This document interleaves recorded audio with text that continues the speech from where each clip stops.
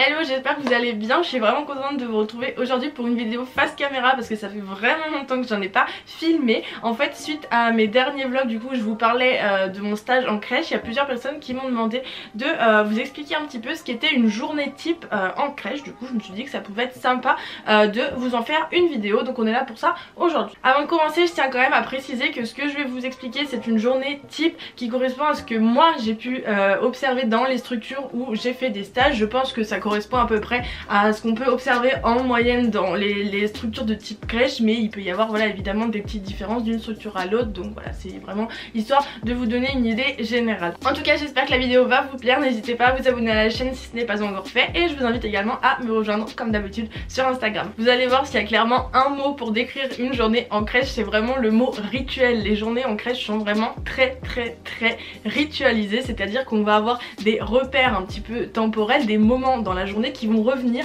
pareil tous les jours à la même heure etc et c'est comme ça tous les jours de la semaine. Pourquoi on fait ça tout simplement? Parce que les enfants ont besoin de ces rituels là ont besoin de ces repères temporels là pour euh, se rassurer et tout simplement pour se situer on va dire tout au long du déroulement de leur journée à la crèche. Et c'est voilà ce côté justement très ritualisé qu'on associe souvent à l'aspect un petit peu routinier du travail en crèche et qu'on critique souvent. Mais en même temps les enfants en ont besoin et la priorité ici c'est eux et pas nous donc première étape d'une journée en crèche c'est évidemment l'ouverture de la structure. Généralement c'est aux alentours de 7h30. Je pense que c'est une bonne moyenne. Il y a certaines structures qui ouvrent plus tôt, peut-être d'autres qui ouvrent plus tard, je sais pas. Mais 7h30 c'est à peu près l'heure normale d'ouverture d'une crèche. Donc 7h30 la structure ouvre, il y a ensuite les premiers enfants qui arrivent du coup et c'est le moment des transmissions, donc le moment où euh, voilà l'enfant arrive avec son parent à la crèche et est accueilli par une professionnelle qui va discuter un petit peu avec eux, savoir comment euh, l'enfant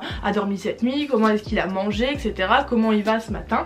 Euh, c'est aussi le moment du coup où si le parent a des infos particulières à transmettre au professionnel, c'est vraiment le moment pour le faire. Si je sais pas, l'enfant a été malade dans la nuit, l'enfant a eu de la fièvre ou je ne sais quoi, c'est le moment du coup de transmettre toutes ces informations là au professionnel. Ensuite du coup pendant cette phase où les enfants enfants vont arriver de manière échelonnée à la crèche euh, le matin, on leur propose souvent du jeu libre, c'est-à-dire qu'il y a plein de jeux qui sont en accès libre euh, généralement dans la salle de vie de la structure et les enfants bah voilà font un petit peu ce qu'ils veulent euh, jusqu'à ce que tous les enfants soient arrivés le matin. Donc généralement voilà il va y avoir plusieurs petits coins différents. Vous pouvez avoir un coin avec des petits jeux d'encastrement ou des Lego voilà des choses comme ça. Un coin par exemple jeu d'imitation. Nous je sais qu'on a voilà une dinette des jeux avec des poupées une baignoire des couches etc pouvez avoir un coin avec des petits livres, enfin un petit peu plein de choses qui sont proposées aux enfants et c'est eux qui choisissent euh, bah, ce qu'ils ont envie de faire euh, pendant ce moment là de la journée. Généralement la journée va commencer vraiment à partir de 9h du coup puisque la majorité des enfants sont arrivés dans la structure et ce qu'on observe souvent à ce moment là dans les crèches c'est un temps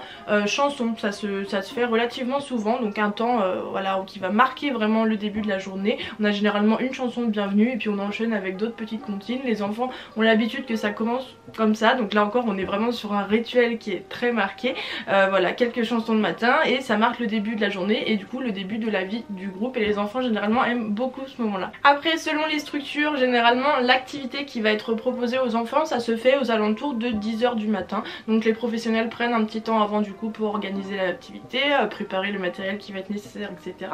Et à partir de 10h on propose l'activité aux enfants donc ça peut être vraiment plein de choses différentes, de la peinture, euh, de la pâte à modeler, du dessin, des activités euh, je sais pas, de transvasement, de manipulation, euh, il y a tout plein d'activités, des activités musique, enfin vous avez vraiment grande possibilité de, choses à proposer. Donc ça voilà ça dure généralement une, demi-heure maximum je dirais parce que les enfants ont généralement une capacité de concentration qui est assez faible donc les activités durent pas très longtemps mais voilà généralement ça leur fait quand même assez plaisir. Donc ça généralement on va dire que c'est sur la tranche 10h 10h30 maximum. Ensuite on range euh, l'activité du coup et puis les enfants ont à nouveau un petit moment de jeu libre ensuite il va être temps de passer au repas mais souvent avant le repas euh, les professionnels ont l'habitude de proposer soit un petit moment lecture soit un moment relaxation ça dépend pour poser les enfants vraiment avant le repas parce que voilà ils sortent de l'activité ils ont fait plein de choses le matin, tout ça.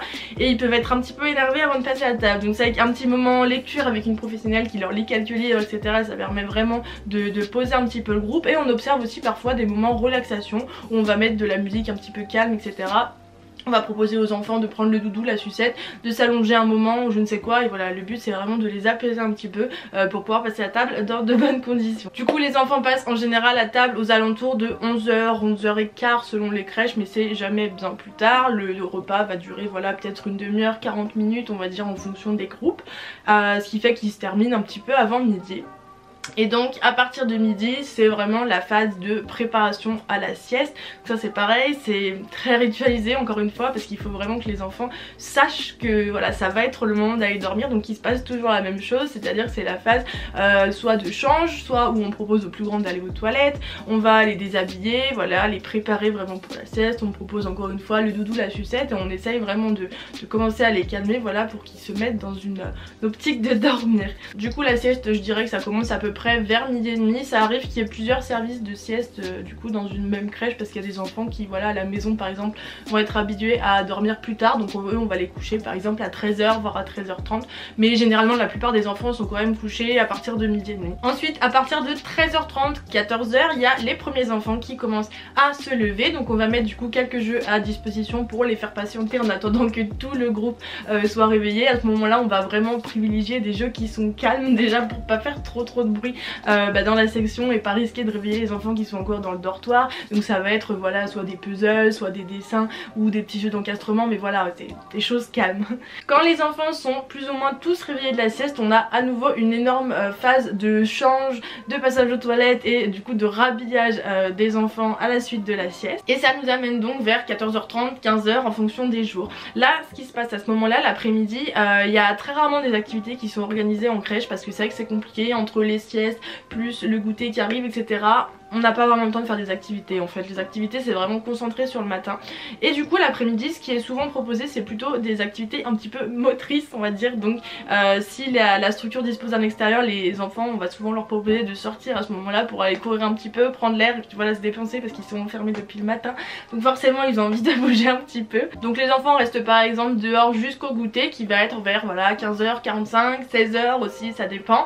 Euh, voilà de 16h à 16h30 du coup le goûter. Et à partir de 16h30 on a les premiers départs donc les premiers parents qui viennent chercher leurs enfants voilà 16h30 17h ça dépend. Là on a vraiment un changement de rythme on sent que c'est la fin de journée en gros les enfants sont en jeu libre et pour les professionnels c'est un petit peu un enchaînement de transmission du coup parce que les parents arrivent et donc elles font un petit peu bah voilà à chaque parent un retour euh, sur la journée de leur enfant est-ce que ça s'est bien passé est-ce qu'il a participé aux activités est-ce qu'il a bien dormi est-ce qu'il a bien mangé etc voilà on fait un petit peu le, le retour sur tout ça. Les départs sont ensuite échelonnés jusqu'à la fermeture de la structure généralement vers 17h30, 18h il reste très peu d'enfants. Donc pour les professionnels ça va être l'occasion voilà par exemple de faire un petit peu de rangement parce que concrètement en fin de journée c'est un peu Bagdad dans la crèche.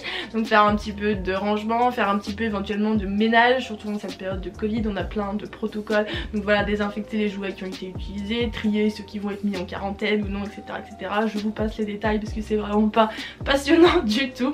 Mais voilà c'est vraiment la fin de journée où on fait un petit peu tout ce qu'on n'a pas eu le temps de faire pendant la journée. La fermeture de la crèche c'est environ vers 18h30 encore une fois selon les structures mais 18h30 je trouve que c'est une bonne moyenne. Donc s'il y a encore des enfants ils partiront à ce moment là les professionnels ont après généralement un petit quart d'heure de décalage du coup pour finir de, faire ce qu'elles ont à faire. Et puis tout simplement fermer la structure. Et voilà donc on va dire 18h 18h45 c'est la fin de journée pour les pros. Voilà du coup pour cette journée type en crèche j'espère du coup que ça vous aura plu que ça aura été assez clair. Évidemment si vous avez d'autres questions n'hésitez pas à me les laisser dans les commentaires si je peux vous répondre. C'est avec grand plaisir. Comme je vous l'ai en début de vidéo, n'hésitez pas à vous abonner à la chaîne si vous voulez voir d'autres vidéos qui tournent autour de la crèche, de la petite enfance et si vous voulez me suivre du coup pendant la suite euh, de mon stage en crèche, c'est avec plaisir que je vous accueille ici. Je vous fais des gros bisous, surtout prenez soin de vous et je vous dis à bientôt, bye bye